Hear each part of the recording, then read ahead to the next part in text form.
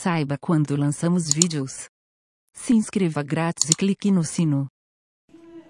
Torcida São Paulina, e aí, sofremos muito hoje, hein? Mas enfim, um, depois da, das circunstâncias do jogo, né? Um empate até interessante. Felizmente aí o Flamengo também perdeu, o Inter empatou com o Cruzeiro, então a, a tabela praticamente a distância se manteve a mesma e mais uma rodada se passou do Campeonato Brasileiro, né?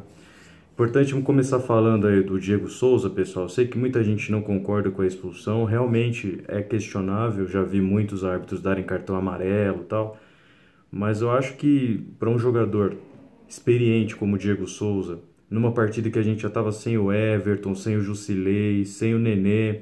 É, era importantíssimo que Diego Souza tivesse 100% focado na partida e que um jogador é, dessa importância saiba o peso desse jogo para o São Paulo no Campeonato Brasileiro. E aí, para revidar uma falta, ele vai lá, deixa o braço, enfim, dá espaço para que o árbitro o expulse. É, então, Diego Souza, o recado para você é o seguinte: é, mais é, concentração, mais atenção e respeito mesmo com a camisa do São Paulo, porque a gente está disputando um título brasileiro. Você é um cara importante nesse contexto e não pode simplesmente. Você já tinha feito isso contra o Colón da Argentina, o árbitro não viu. Era para você ter sido expulso ali. Ali com certeza você agrediu. Para ser expulso mesmo, o árbitro não viu, passou. E hoje, né, aliás, agora contra o, contra o Fluminense, você simplesmente vai lá, deixa o braço, porque tinha, já tinha tido um, um, desentendimento ali com o jogador, deixa o braço, é expulso e prejudica o time. Entendeu? Se você tivesse ficado em campo, se o Diego tivesse ficado em campo, certamente o São Paulo teria chances claras de vitória. O começo do jogo ali do São Paulo não foi muito legal, depois começou a se encontrar, já, é, enfim, com, com todas as alterações, todos os desfalques, já começou a envolver mais o Fluminense. E quando o time já estava melhorando, o Diego Souza fez isso. Então, Diego, a questão não é se foi justo ou não. A questão é você estar tá mais centrado na importância desse campeonato para o São Paulo. Tá? Espero que, enfim, agora quarta-feira a gente tem um jogo importantíssimo contra o Atlético Mineiro também em Minas e você não vai estar tá presente por conta dessa besteira que você fez. Então é para repensar mesmo e espero que quando você voltar, é, você dê um jeito aí de recompensar a torcida pelo sofrimento é, contra o Fluminense, tá? Falar um pouco do lance do gol que o São Paulo sofreu também, gente. É... Realmente foi uma falha ali dupla do Anderson Martins, que fez o gol contra, e do Sidão, né, que saiu do gol, é, no momento que talvez não fosse para sair. Mas tem uma questão de fundo maior aí, gente, que é o Sidão. Né? O Sidão é aquela típica história que tem tudo para não acabar muito bem, né? O jogador não está bem já há um tempo, não passa confiança, o que é fundamental para um goleiro, e é mantido como titular. Até pouco tempo era capitão do time. Então, isso não, não, Na verdade, desde que o Rogério aposentou, nenhum goleiro se firmou no São Paulo. E fizeram a mesma coisa com o Denis, o Denis não vinha bem, né? Eu até é, achava que ele não tinha o potencial para ser titular, mas quiseram dar ali uma chance, já que o Rogério tinha parado e, e o Denis tinha esperado tanto tempo, tal, beleza, deram a chance ele não jogava bem, mesmo assim foi sendo mantido de, foi sendo mantido de titular, e aconteceu o que aconteceu, né? Não conseguiu se firmar, foi embora, a torcida não gosta, tal. Depois veio o Renan Ribeiro, jogou pouco tempo, foi embora também. Agora o Sidão, nenhuma confiança também. E o Jean quando entra, gente, a diferença não é lá essas coisas, sinceramente. Se o Jean fosse tivesse realmente aproveitado as oportunidades que teve, seria o nosso titular. Não é porque não aproveitou.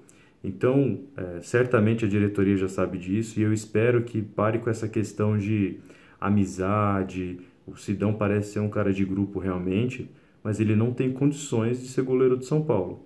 O Jean é, ainda não dá para cravar, na minha opinião, mas também não parece ter o potencial nesse momento para ser titular. Então, para o fim do ano, São Paulo precisa trazer um goleiro incontestável, né? um goleiro aí de, de nível de seleção, enfim. Talvez vai precisar fazer um investimento a gente tem boas moedas de troca aí também, enfim, mas precisa de um goleiro. É um, tem aquele ditado antigo, né? Um grande time começa por um grande goleiro. Eu concordo. É, só que é mais que isso. O São Paulo precisa de um goleiro que, que inspire confiança no time, na torcida. Isso é tudo que o Sidão não consegue. Então, talvez seja o caso de testar mais o Jean mesmo esse ano, já, como não dá mais para trazer ninguém agora. Testar mais o Jean. Se não for bem, por que não o Lucas Perry? Né? Não vejo por que essa, esse lugar cativo do Sidão no time, sinceramente, e já começa a ficar muito ruim o clima com a torcida.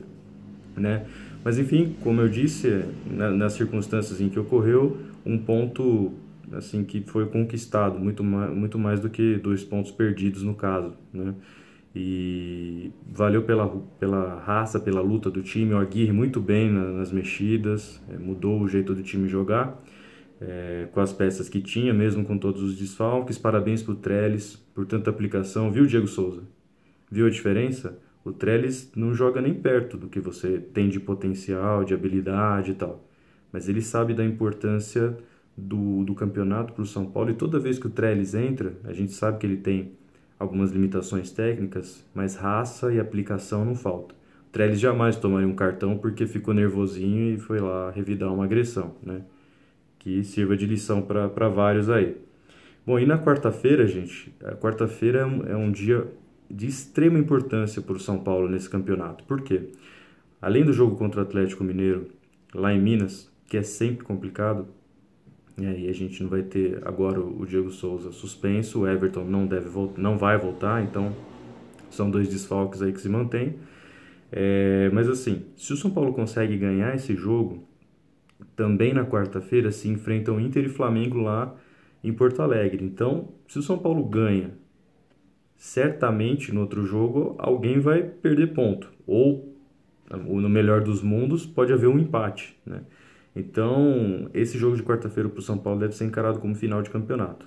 É, lógico que, dependendo do que acontecer no jogo, um empate você estaria de bom tamanho, claro, empatar com o Atlético lá nunca é ruim. Mas como a gente vende um empate em casa, é, eu acho que tem que ir para lá com esse objetivo firme de ganhar o jogo como se fosse uma final de campeonato mesmo, porque a nossa vantagem pode aumentar ainda mais na quarta-feira, dependendo dos outros jogos. E tem que lembrar que o Palmeiras é um time com maior investimento do, do campeonato, tá vindo, né? tá chegando. Então o São Paulo precisa aproveitar as oportunidades que tiver, conseguindo ganhar quarta-feira, sábado tem o Bahia em casa, e aí é mais uma possibilidade do São Paulo se distanciar na tabela, né, gente? Bom, seguindo as recomendações que eu faço semanalmente aí para vocês, queria é, deixar dois vídeos, vou deixar aqui na, aqui na descrição do vídeo aqui embaixo, é, sobre um time de São Paulo que muita gente não comenta muito, até porque foi protagonista aí de um dos jogos ou na minha opinião, o jogo mais triste da história do São Paulo. Mas antes disso, o time do São Paulo de 2000, muita gente aí não deve lembrar, eu sei que tem muita gente mais jovem aí que curte o Arquibancada Tricolor. Aliás, siga o Arquibancada Tricolor em todas as redes sociais. Tem muito vídeo e não tem mais textão.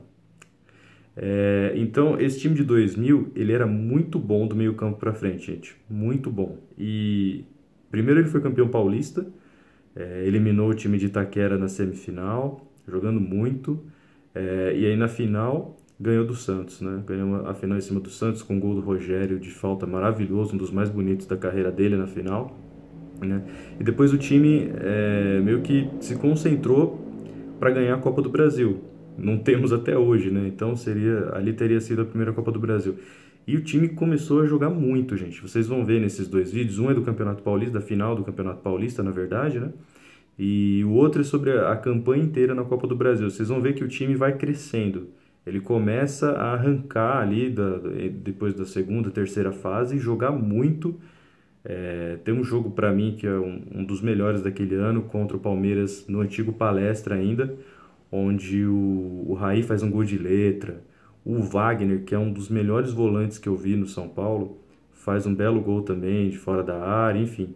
E era um time ali com que tinha o Raí, que eu já disse, o Evair, centroavante, né? Um dos últimos times que ele passou foi o São Paulo. Tinha esse Wagner, volante excelente. Tinha o Marcelinho Paraíba. Tinha o Edmilson, zagueiro que depois é, foi para a Copa do Mundo, né? Em 2002. E o Rogério em grande fase. Então era um time que dava gosto de ver. A defesa era mais ou menos, tomava muito gol, é verdade, vocês vão ver no, nas campanhas aí.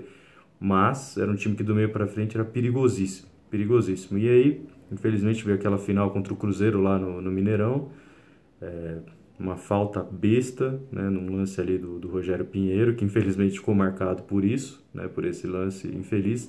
E depois, mesmo depois desse, desse lance, o São Paulo tem uma chance incrível perdida, né, que o zagueiro do Cruzeiro tira em cima da linha, que essa bola entra, o São Paulo é campeão. Então, assim, vale uma lembrança, né, desse, desse ano 2000 aí, porque o São Paulo foi, foi legal, o, o Paulista é, em cima do Santos, tendo eliminado o pessoal lá de Itaquera na semifinal, e essa campanha que, de qualquer forma, é histórica na Copa do Brasil, né, seguindo a, as recomendações que a gente deixa aí toda semana. Beleza, gente? Então, todo mundo focado aí para quarta-feira, mais uma final, né? São Paulo passando, campeonato é, chegando já, já passando aí da, do, do, aliás, três, quatro jogos aí do segundo turno, e o São Paulo se mantendo na liderança aí, um time que a gente pode ver, eu, eu disse no começo do vídeo aí alguns problemas que o São Paulo tem, é, principalmente essa questão do Sidão e, e, esse destempero do Diego Souza, mas é um time que luta muito, um time que se entrega demais e tem sido recompensado. Né? Vamos ver se na quarta-feira o São Paulo consegue trazer um bom resultado. E no sábado é dia de lotar o Morumbi de novo. Aliás, Morumbi estava lindíssimo contra o Fluminense, hein, gente? Vibração da torcida, enfim, parecia um jogo de Libertadores. Beleza, gente? Obrigado. Semana que vem tamo junto. Obrigado pelos comentários aí. Então, vamos lá curtir, comentar e, como eu disse, curtir o Arquibancada Tricolor em todas as, as redes sociais. Beleza, gente? Valeu, Arquibancada. Boa semana aí para todo mundo. Gostou? Veja outros vídeos e assine o canal.